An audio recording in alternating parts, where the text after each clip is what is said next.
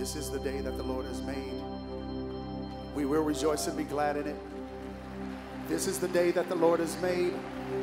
We will rejoice and be glad in it. This is the day that the Lord has made. Let us rejoice and be glad in it. This still is the day that the Lord has made.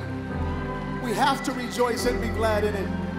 This is the Friday that Jesus chose. We have to be rejoicing and being glad. This is the day that the Lord has made. Let us rejoice and be glad in it. Yes, Lord. Let's rejoice together. Let's sing this.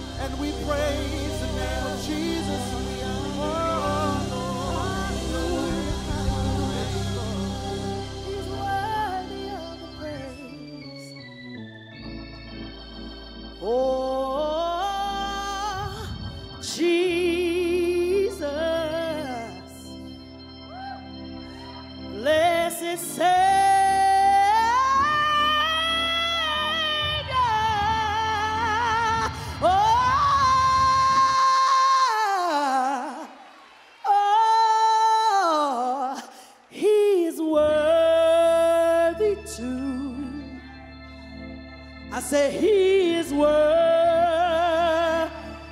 to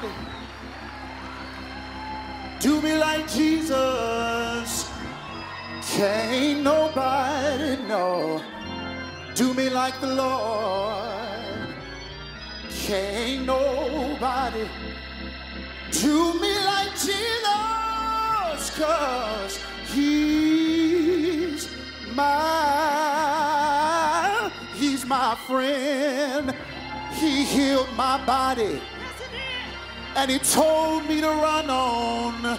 He healed my body and told me to run on.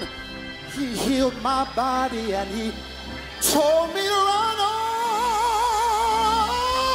All because he's, he's my, he's my friend.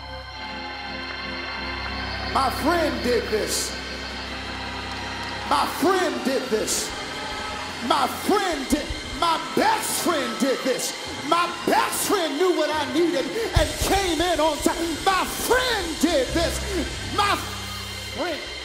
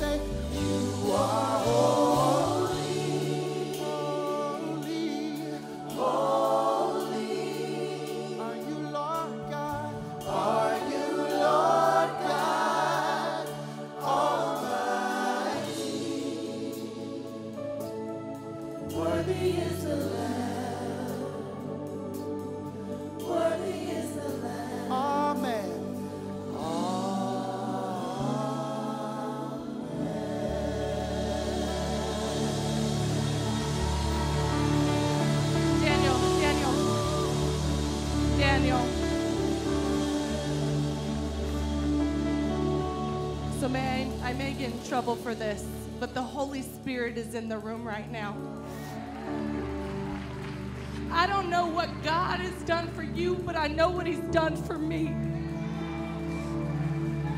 The sinner that I was, the sickness that I had, only God, only God sending His Son to the cross that I may be redeemed forever. So I don't want to miss this moment where God is moving. I don't want I don't know what's going on in your life today. I don't know what he's done for you, but you do. You know what this night means to you that you will live in eternal glory, sinless with our Father. Daniel, let's do it one more time. I, I, I believe that God is in here and we can't miss this moment. Let's not rush tonight. We ain't got nowhere else to go. Nowhere but to only receive what God has done for us. I'm so, so, so grateful for what He's done for me. Can I say we, we, we put this here and we know this is, there's blood running down from here where Jesus was, and I keep looking at this spot. There's a, you can't see it from here, but there's this spot of blood that's running this way. And I keep looking at it. I'm like, from where he did what he did, his blood is making its way to the whole world. It's leaving that spot and it's making its way over the doorposts. It's leaving that spot and it's running straight to your infirmities. It's leaving this spot and it's making its way and dripping to wherever you need a healing. It's leaving this spot and it's dripping all the way to where you needed to run. Run on, blood. Run on, blood. Run on, blood. I've got issues I need you to get to. Run on, blood. I've got problems I need you to meet. Run on, blood. Are you Lord God Almighty?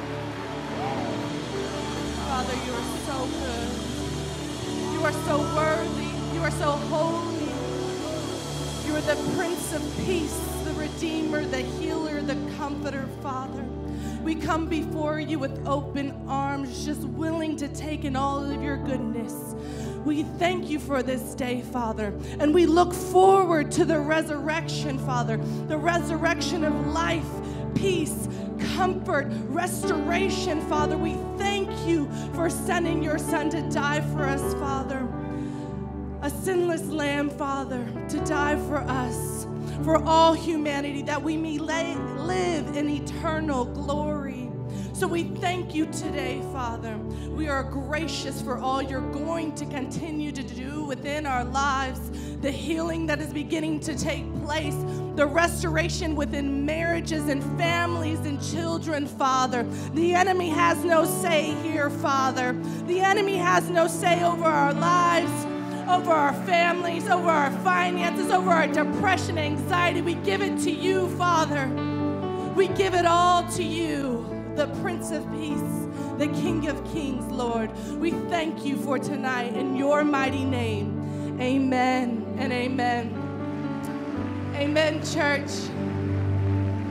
Welcome to our Good Friday service. Before you are seated, wipe your eyes and your nose before you give your neighbor a hug or high five.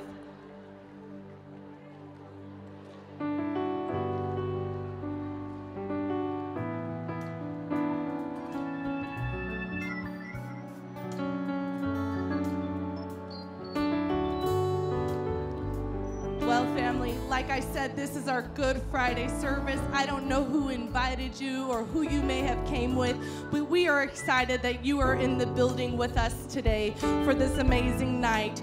I have a quick announcement for you. As you know, our Holy Week continues this Resurrection Sunday, and we don't want you to miss it. We have three services 9 a.m., 11 a.m., and 1 p.m. We would love for you guys to come out and join us for one of those amazing services.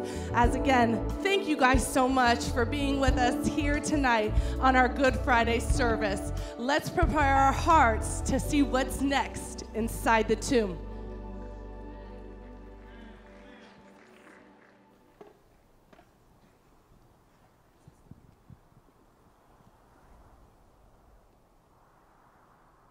common because common Christianity, like the, especially charismatics, they just easily go to the low hanging fruit perspective, in my opinion. That is, He's afraid. Peter denied Jesus because he's seen him brutally marred. He's seen him not be, he's seen him defeated. Yeah, well, you know, many theologians uh, believe that obviously what we do know is uh, Peter denies Jesus. And so uh, a young child says, you know, hey, you're one of his disciples after Jesus has been tried. And he's going through his trial period on Good Friday. And, and Peter uses um, extreme, almost pretty much almost curse words. He cusses at this girl, and the community says, "I don't know him. Uh, I'm not with him. I'm not one of his disciples." And many will say that, "Oh, that comes from a place of he Fear. he doesn't want to be the next guy on trial," which that could be what that could be the case because the Bible doesn't tell us what what's the reason on why he's doing this. But if you just look at a few hours prior. What did Peter famously do when Judas turned Jesus in at the Garden of Gethsemane? Well, Peter famously pulled out his sword and he cut off a Roman soldier's ear. Jesus grabs it and he puts the ear, he heals this man. It's actually the last healing that's recorded in the Bible of Jesus, which is towards a Roman Gentile man. And he heals this man's ear. And he basically tells Peter, hey, this, this is not what we're doing right now. I didn't come for this right now. Wow. And so you can imagine Peter's world is completely rocked because he thought, just like everyone else who's yelling Hosanna, you know, four or five days earlier, uh, Peter's thinking the same thing. And so when the guards come, Peter says, Game time. This is what we signed up for. I got a sword on me, time to go to fight. And then he looks at the guy he's been following for three years. And not only is he not uh, fighting with him, he's healing, Healing the the very enemy. people he hates. Wow. You know, so you fast forward a couple hours later, and he's watching this trial, and somebody recognizes him. More than likely, he's angry at Jesus that Jesus didn't live up to the expectation that Peter had of Jesus. Hmm. And I think that's where a lot of all of us get is we think that Jesus is supposed to live to a certain expectation of our standard or what we want him to do rather than what the truth is of what Jesus came to do for us. And so Peter more than likely is very upset that this is not the guy that I signed up to follow. He's denying Jesus not because he's scared he'll be next, but because I came here to fight. I came here to be a war in war. Uh, James and John, same thing. The mother says, "Hey, in your palace here on earth, can my son sit on your left and right?" And Jesus talks about the kingdom of God. It- The disciples consistently thought Jesus, his first thing he was going to do was set up a physical kingdom, which Jesus says that's not what I came here to do. I, I, I came to set up uh, the kingdom of heaven first, and one day I will return and we'll set up that physical kingdom. And so um, they didn't know the time proximities that Jesus was speaking. And so instead of acting on faith, they act on their own desires. They acted on what they wanted to be true, which were for Peter, which was wartime. That's what Peter wanted.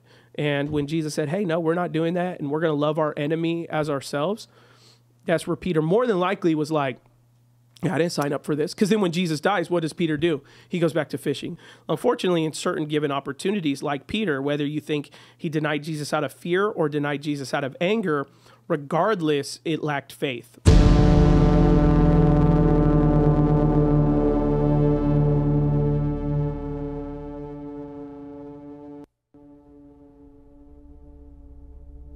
Lay down your life for me? I'd murk any man who steps to you. Truly, truly, I say to you, the rooster will not crow till you've denied me three times. No, that's not possible. I know what I'm about.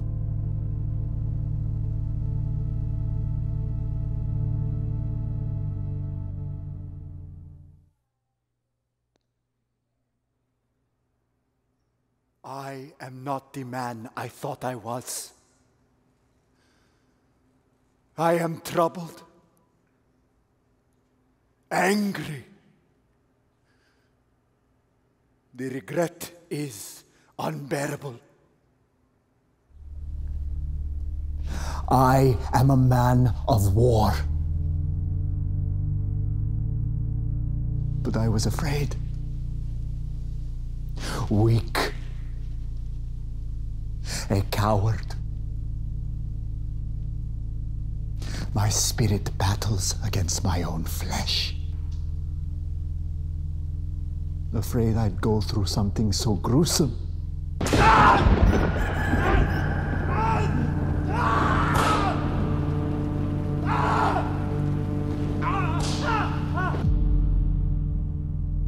To die upon the cross like some convict, a deserter, mutinous soldier. The barbaric nature of it all.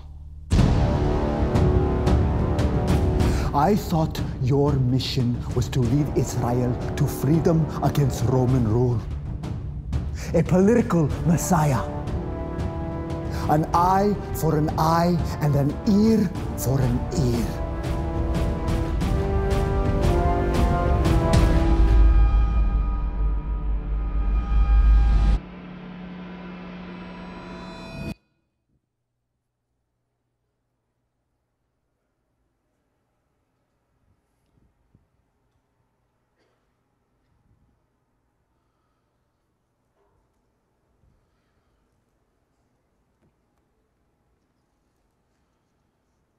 I am so misunderstood, clouded by my own selfish agenda. I was ready for violence.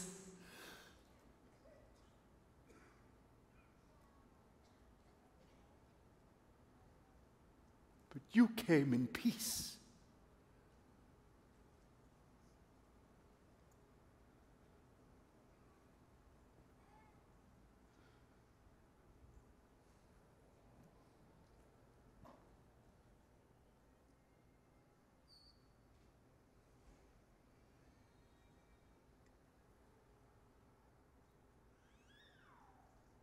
It doesn't matter why.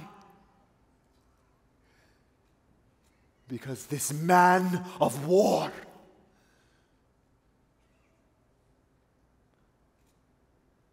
became a punk. I stood for nothing when it mattered most. Just like the pig, Judas. He was unworthy to break bread with his brothers.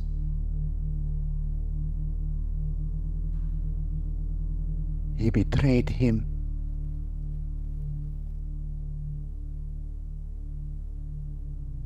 I guess so did I. I'm no better than the pig. Maybe Jesus should have denied me.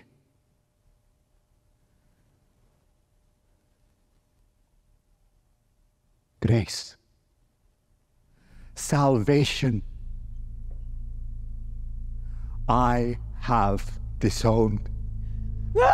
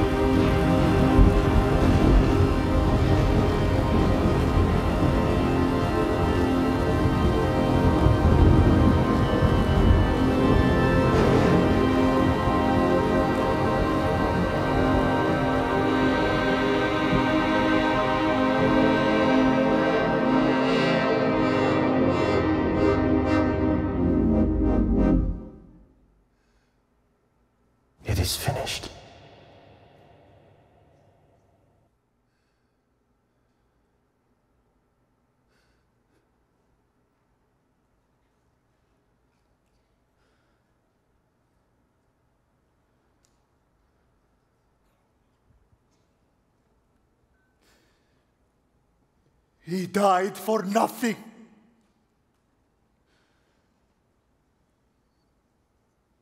His hopes, my hopes, his dreams, my dreams. Fulfillment of prophecy. His purpose, my purpose.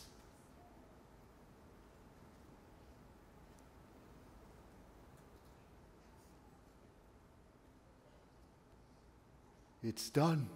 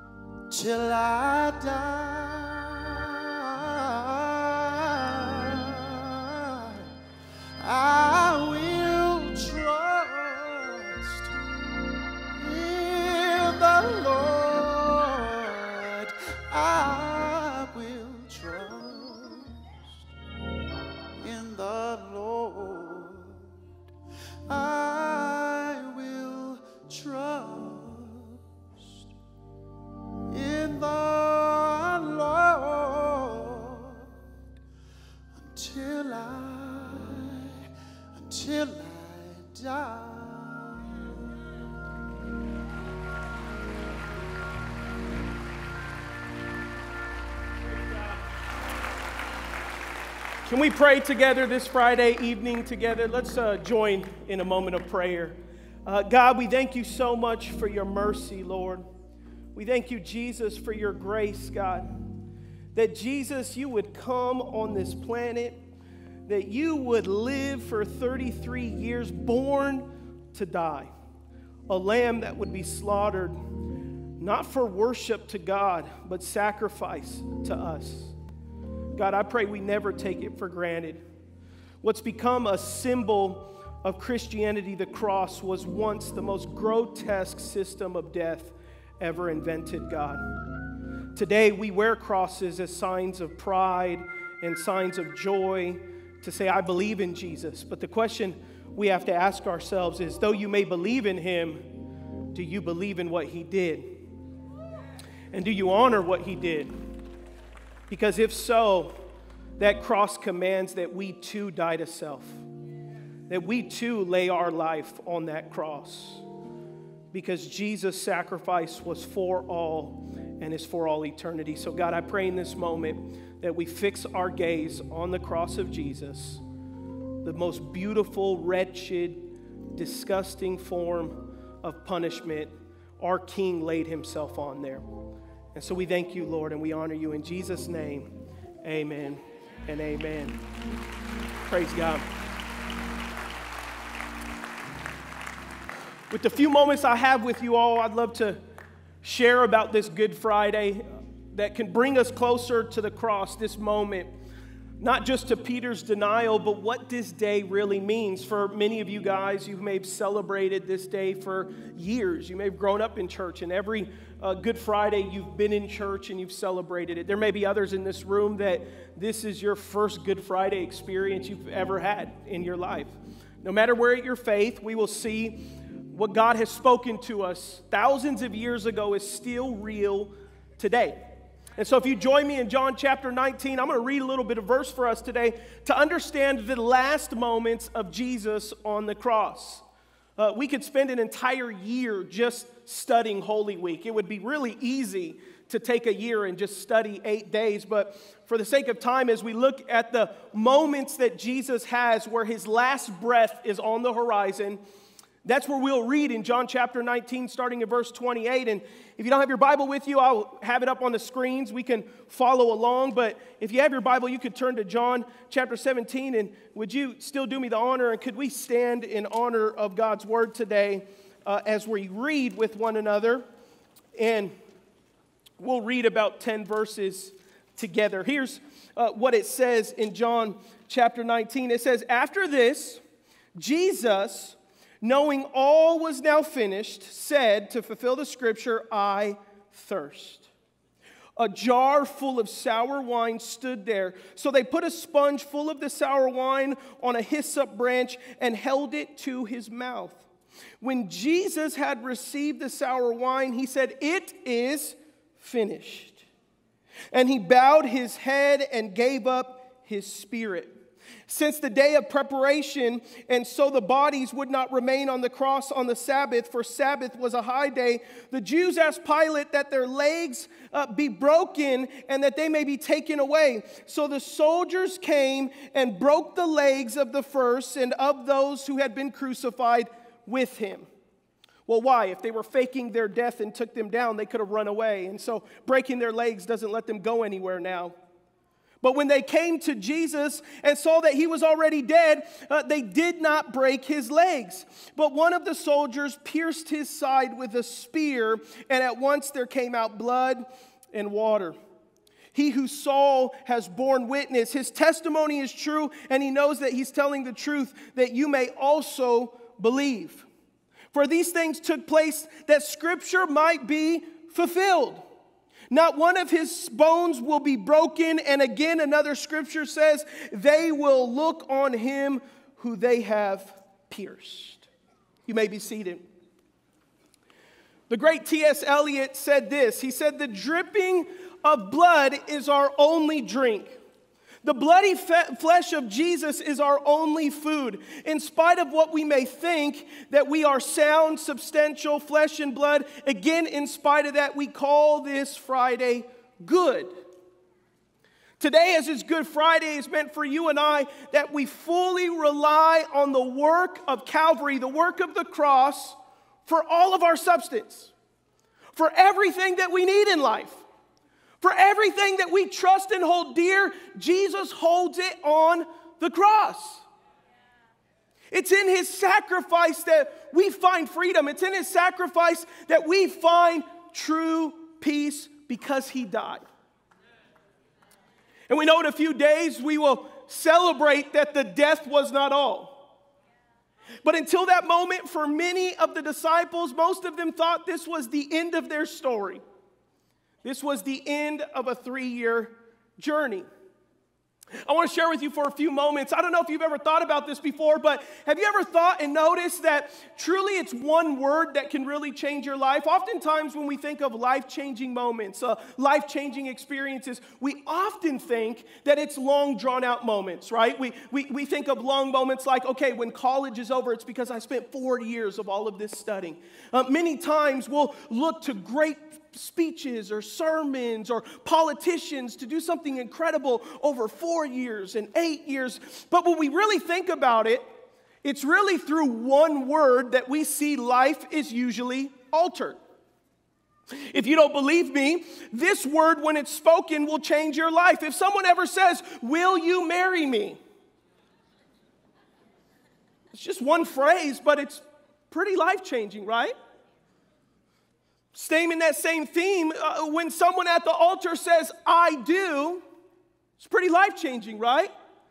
Most people, some, some people spend a year, two, three years planning a wedding, all for that one moment to say, I do. Just to say one word.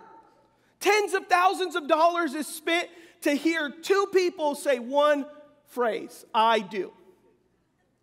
But it changes things. In the same way, when you were first dating your spouse, if you're married, or maybe you've dated someone before, and the first time the word I love you was said, means a lot. I know when I told my wife when we were dating I love you, it took her three months to say it back. so I remember that day vividly because when I first said it, she said, uh huh. And then finally, when she said it back, I said, Oh, now we can move forward. Everything for those 90 days felt like it was on pause until I heard her say it back. Just one word, just one little word. We often demean the value of one word. Maybe you've heard this before you're hired. Wow, some I've been believing for, praying for. And maybe in that same sentence you met with HR, and maybe some of you have been blessed enough to hear with this job comes full medical coverage. Wow. Matter of fact, how full is this coverage? You guys got a paper that full medical? Or maybe you've gone out to lunch with someone and by the end they said, hey, lunch is on me. I, sh- I would have ordered completely different if I knew that on the front end. Or maybe you've been at the checkout counter at a store and then someone rings it up and they go, hmm, your item happens to be half off. Oh my goodness. I got to go back and look at, I got to do a circle one more time. Changes everything. Or maybe you've been with your spouse before and believing God, and you've heard your wife come in and she says, I'm pregnant. For most, some said oh, some said yay. It sees, I can see where your walk has been with Jesus. For future reference, you say yay at that point, okay? That's what that happens. But let's take a turn at other words that maybe don't mean so much, but it's still life changing. How about sitting down with someone, they say, We need to talk. Oh, man. Dating someone, they say, It's not you, it's me. If you grew up and your parents said, I'm not angry, I'm just disappointed. Oh, man. You have to go and say that. Sitting with someone, how about you're fired? Man. How about you're being evicted? How about, hey, man, I can't pay you back after all? Man, things are really about to change between you and I uh, real fast. One word, one phrase, about to change our whole relationship. What about this? This sickness is terminal. What about, lastly, hey, I want a divorce? I want to share with you that the words of Jesus mattered when he said, It is finished. That one phrase, that one phrase. So many people hear it. So many people see it. We just read it in the scripture, and so many of us will look at the when Jesus is beaten, we'll look at how he has bled, we'll look how they put a crown of thorns on his head, we'll look at everything, and then we just read him him say out of his own words, "It is finished," and we just go, oh, "Okay, it's nice. It's fin- what's finished? I don't know. I think the cross is finished. Time."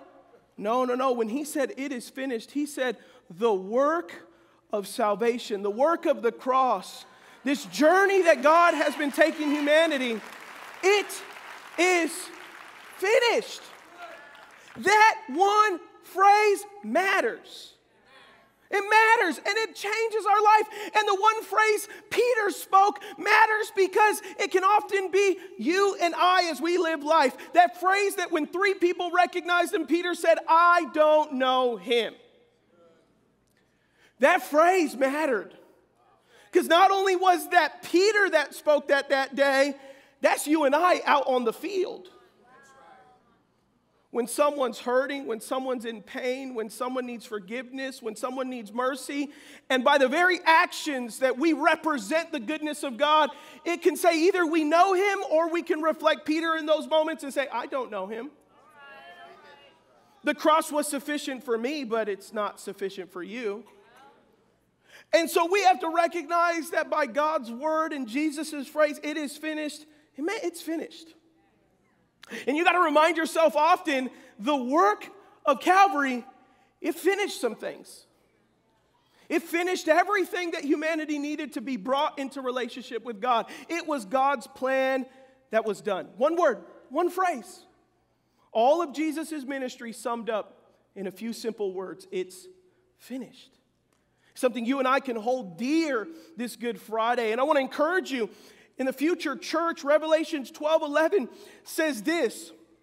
This is the beauty of Jesus, and as one day we'll be in heaven with Christ. Revelations 12 11 says this, and they have conquered him by the blood of the Lamb, the blood of Jesus. What? This moment right here, the finished work.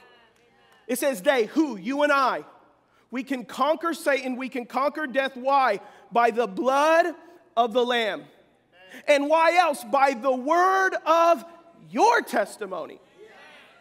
Your testimony. Will you make the phrase, it is finished, personal? To give you a testimony because you can conquer Satan and death by what? The blood of Jesus and making the work of cross your testimony. It says, We conquer Satan by Jesus' work and also that you ascribe it to your life. So many people live in parallel realities and parallel lives where we recognize Jesus' work because we put a cross around our neck or we make the sign of a cross. We recognize that aspect, but we've never allowed it to be a testimony in our life. So we walk almost like in a freeway where you have one car in one area and one car in another area. When a car drives by and it's nice, guess what? It's not your car. So you could admire it all day, you could look at it all day, you could inspect it all day, but until the keys are yours, all you're doing is admiring it. Until Jesus' work becomes ours and we receive Him, all we're doing with the cross is admiring it. But the work of the cross was meant to make it personal, to make it ours, and for God to give you a testimony. How does God win battles in life? It's very easy.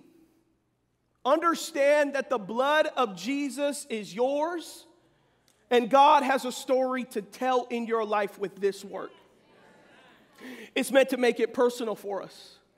But so many times, the gruesome work of the cross we want everything when it comes to Jesus except this work. We want Resurrection Sunday Jesus. I don't want crucified Jesus. I don't want cross Jesus. Because Jesus told me to pick up and carry my cross. And I don't, I don't like that part. I like the victory part. I like the part where we're glowing. I like the part where Jesus walks out of tomb. I like the part where there's two angels that are big bodybuilders nearby that are just shutting down Roman soldiers. Like, I, I like that part of the story. But you can't get to that part of the story unless you're willing to understand and accept this part of the story and receive his death for your life. You can't get to resurrection without death. And we can't get to resurrection without the death of ourselves, leaving our old selves behind. That's why when so many people say, God loves me for me. No, if God loved you for you, you would be on a cross. God loves you for Jesus because you have received Jesus. That's why God loves you because you have accepted his son and the work of his son who died for you. That is why God loves you. That is why he accepts us and that's why he receives us.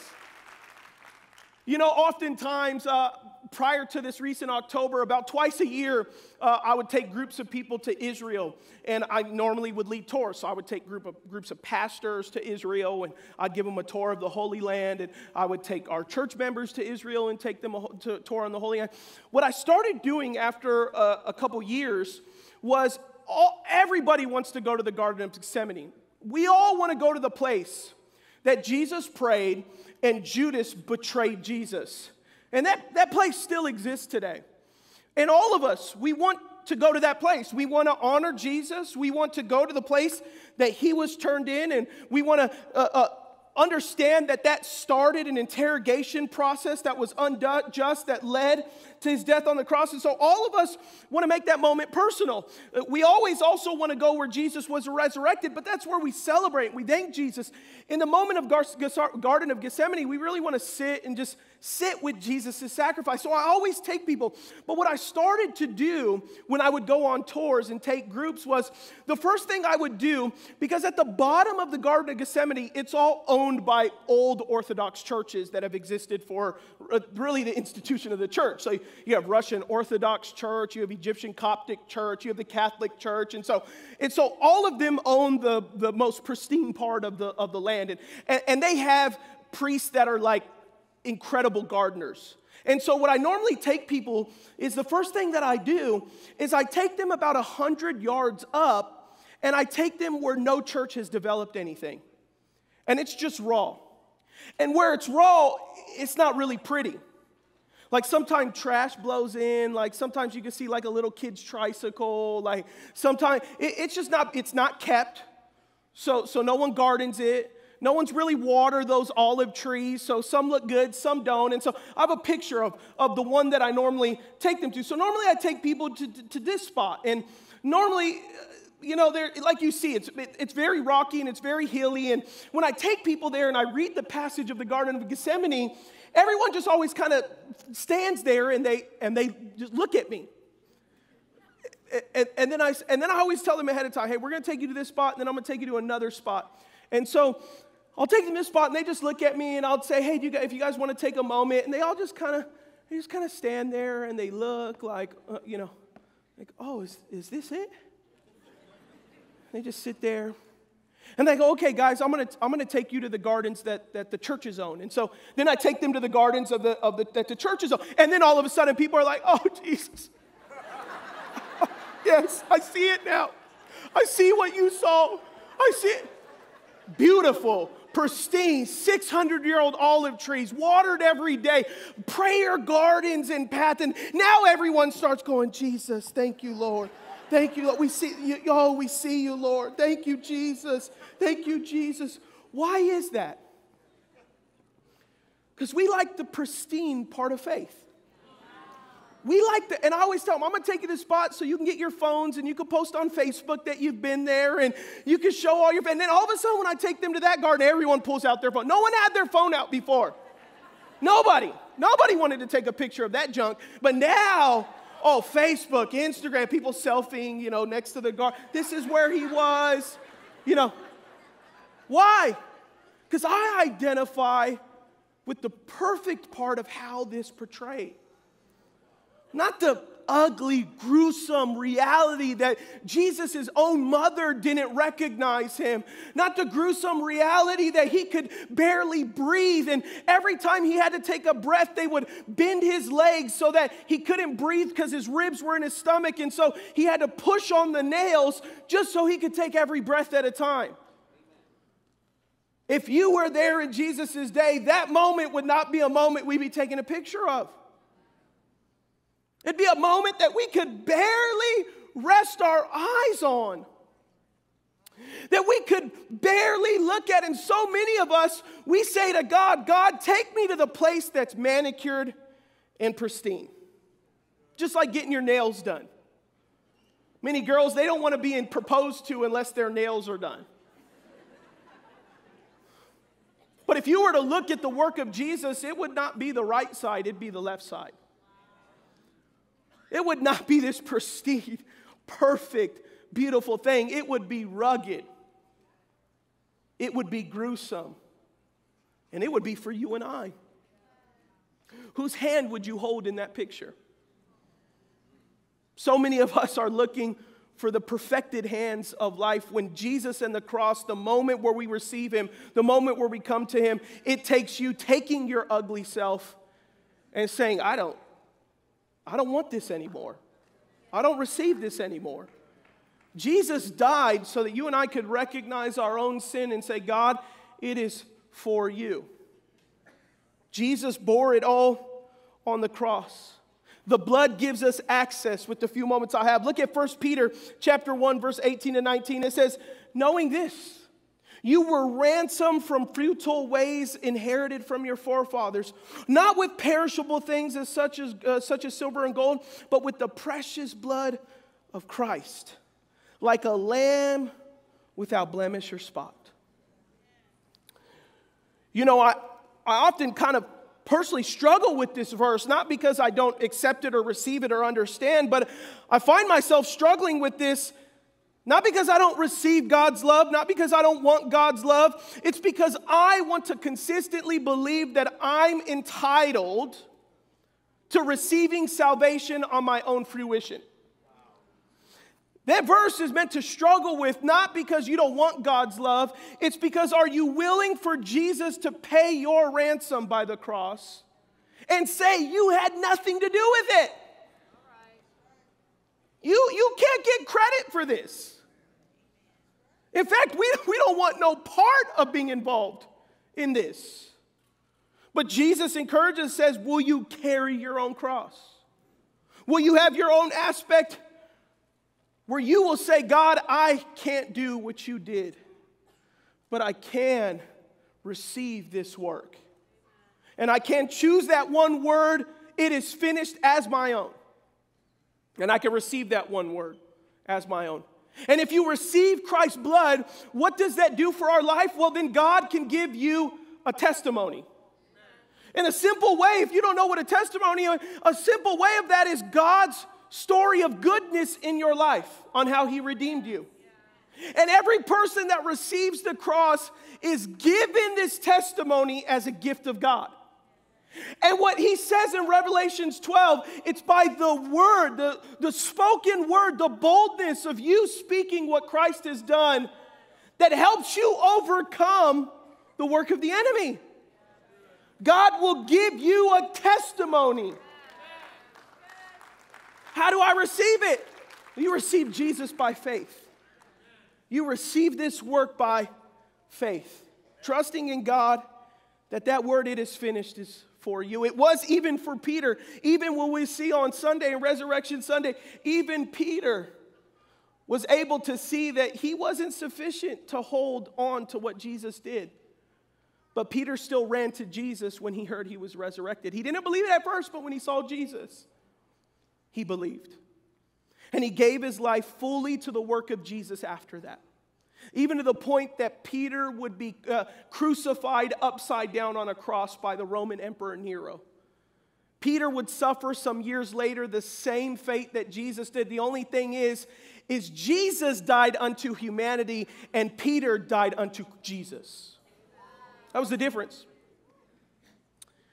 I think if many of us were to follow Jesus, if it, we are told that, you know, following Jesus may lead to death, I think a lot of us may say, well, I don't, I don't know. I don't know if I want that part. I'll take the resurrected part, but I don't know if I want that part. But he gives us a testimony. First John chapter 5, 4 says this For everyone who has been born of God overcomes the world. And this is the victory that has overcome the world, our faith. It's the testimony of your faith in Jesus. And in Jesus' last breath, he says, It is finished. I, wonder what you and I would do. If you knew that it was going to be your last breath soon, what would you do with your last breath? What would you say with your last breath? How would you summarize your life if you knew it was going to be your last breath? You know, in March of 2020, my father in law went home to be with the Lord. And he had passed uh, due to cancer. And there was some time when my father in law, uh, the last periods of his life, uh, he was uh, at home hospice care. So, for about the last a little over a week and a couple weeks, um, he, he was at home for a little bit. And um, as he was laying in bed, many of us, all of his family would visit every day. And for about the last six days or so, uh, and even a little bit more, he, he had gotten to the point where he couldn't eat and chew on his own. And so uh, he, he had a tube that was feeding him his food. And, and um, for about five or six days, he had gotten to the point where he didn't move at all. He had just moved his eyes. And so, as we'd come talk to him and say, Hey, Dad, and try to have some conversation, he could only respond to us with his eyes. So, he'd raise his eyebrows or uh, give a wink or whatever that is. And that, that's how we would begin to share some last moments. Well, uh, about two days before he passed, he, he, he didn't move a muscle for five or six days. And so, about two days before he passed, uh, my, my mother in law called Ashley because I was at work, and, and my mother in law said, Hey, you, could Adam come and give uh, dad communion, uh, final communion, in case one of these days he goes home to be with the Lord? We want him to honor Jesus and the work of Jesus on the cross. So my wife calls me and I say, Absolutely. Now, you got to remember now, for some days, he hadn't moved and he hadn't eaten at all. He would just move his eyes. So we're plan- I'm planning in my head on my way, okay, if I go there, I got, maybe we could put some, some wine or juice on a napkin and we could, we could place it on his lips and maybe we could get the tiniest morsel of a, because he can't chew, so maybe, maybe we just hold it on his lips. And so I'm just trying to think of how we're going to do this to still do communion. And so, and so I walk in the room and then my mother in law and my wife lean over to my father in law and they say, Tom, your son in law is here and he's going to give you communion. At this point, he bursted his eyes open and he began to try to sit up. It took him five minutes to get from this point to this point. But he fought with every muscle, every fiber in his body. He hadn't moved for over almost a week. And he fought just to sit up six inches. And he fought and he opened up his mouth. His tears were coming down, and we're looking at him. Everybody's crying. He is fighting what? Why was he fighting? He's fighting to give Jesus all the honor and all of the glory with his last moments and his last breath. He didn't say, Hey, how are those elections doing? He didn't say, Hey, what are you guys gonna do with my fishing rods? He didn't say, Oh, let me do this, let me do, oh, there's a guy who owes me money back in Chicago. He didn't say that. He fought to take communion. He fought to honor the death of Jesus for his sins. He didn't fight anyone else. That didn't, none of that stuff mattered anymore. What only mattered to him, and the only thing he fought his energy for, was to give Jesus all the glory in his life. And that memory is imprinted in my head because I don't know many people that would fight to do that. I, I don't know many people that would muster strength just to give Jesus their last breath. Jesus gave you his. Would we do the same? And do we do the same? For my father in law, in that moment when he partook that bread and he partake that wine, he said more to everyone in that room about his life than you could ever write in a novel. You see, the word it is finished, it means something. And it meant something to him. And the Bible has other words. The Bible has other words like you're free, you're accepted, You're healed. You are loved. You are enough. You are alive. You are safe. You are home. And lastly, you are forgiven. Those are God's words over your life, over my life. As Jesus would honor you and I with his last words, could we honor Jesus with our life and our last words? You know, at this moment, I'm going to encourage you that right now, as we partake in communion together, I'll tell you this compared to my father in law, this will be the easiest communion you've ever taken. But it could really mean something to you, it could really be powerful to you. You may not be in the same circumstance, but you need the same blood. And today, as we take this communion, it's a representation of the work of Jesus. And Jesus gave it to us just a few days earlier in that Passover. Jesus held up the bread and he held up the wine and he said, This bread represents my body that will be beaten, that will be pierced, and that will be marred for you. And he said, This wine represents my blood, which will be shed for you. And Jesus said, As often as you do this, remember me. Not remember anything else. We're meant to leave everything else behind. In the New Testament, Paul tells us that before we take this, we should scan our life. Look at our life and say, Is there anything that I need to put on that cross? Is there anything I need to repent of? Is there anything I need to confess? And that moment is meant to be a moment between you and God that you partake. And so at this moment, I want to encourage you, all of you guys, could we stand on our feet? And if you don't feel comfortable taking communion today, it, it, you don't have to if you don't want to. But for those who this means everything to us, this isn't a toy, a snack, this isn't something to be played with. This is something that, at least for someone that I loved in my life, they fought everything to take this. Not because of what it was, but because what it represented. And it represented that Jesus gave it all for you and I. And that word, it is finished, it does mean something today. So we're going to worship just a little bit. We're all going to leave here together. So I ask you to stay to the end of the service. But for about a minute, we're going to worship. And I encourage you to have a moment with the Lord. And whenever you're ready, partake in this during the worship. And we'll come back here and we'll leave together. So let's worship one more time together.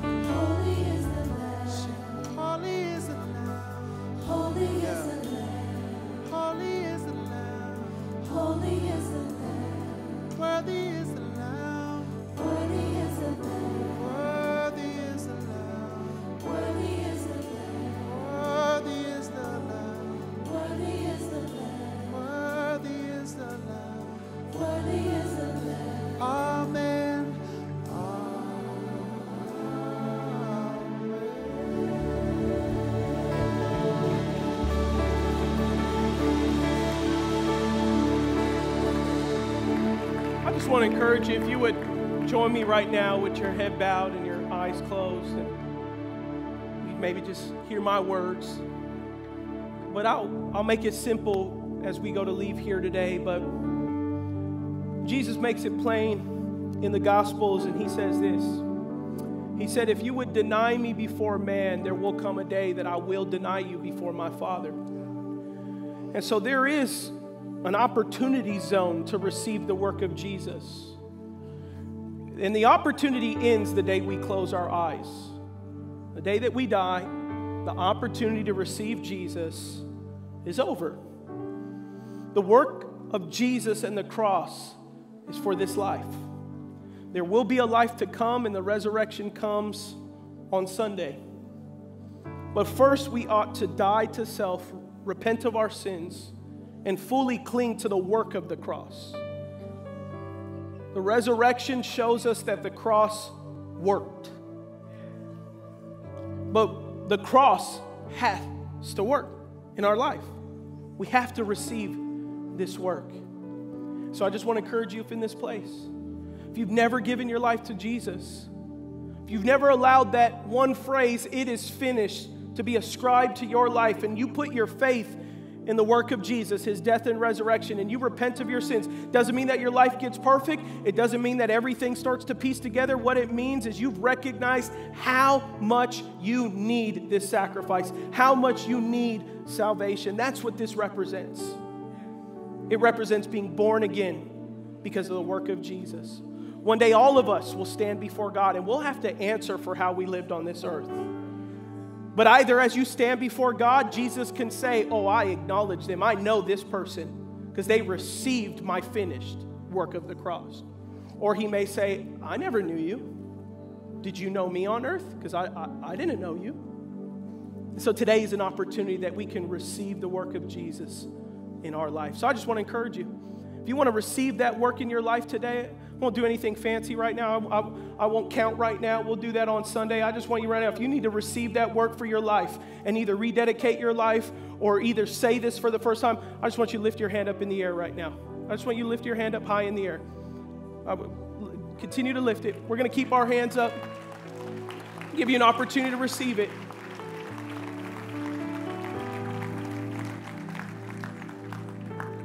I know I've lights on my eyes in this direction, but I do see hands all over. I want you, as you keep your hand up right now, we're all going to see, receive this prayer and say this prayer together. It's a prayer of affirmation of what the Holy Spirit is already doing. So, as your hand is raised for those that are confessing Jesus as Lord, I just want you right now, would everyone join me in saying this out loud together? Can we say this? Dear Lord Jesus, in this moment, I repent of my sins. I believe in my heart that the work of the cross was for me.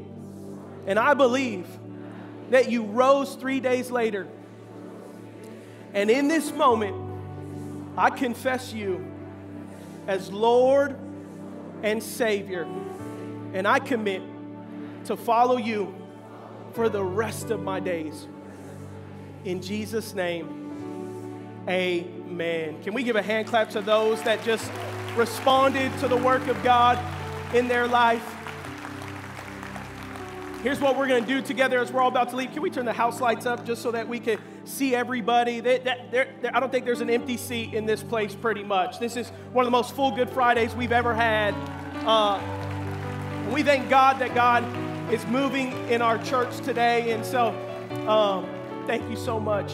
Uh, if you said that prayer today, I want to encourage you before you leave, we want to get you a resource. So, if you said that prayer, rededicate your life, go to uh, www.grow.com faith. We want to come alongside of you. Again, we got three service times to choose from. Here's the thing there's a rumor that it may rain on Sunday, okay?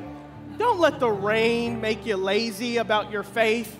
Don't say you were going to go on Sunday until you saw a few drops. We got, we're working on overflow. It's, we're going to take care of you. Don't worry. If you didn't come the way of the courtyard, go outside the courtyard. We got some stuff representing Good Friday that you can see before you leave. But I'll pray for us. I'll bless you guys. We'll see you guys Sunday, 9, uh, 11, and 1 p.m. God, we thank you for this Good Friday today, God. We pray that you have been glorified in all that we did today. We give you all praise, honor in our life. In Jesus' name, amen. God bless you all. We'll see you Sunday.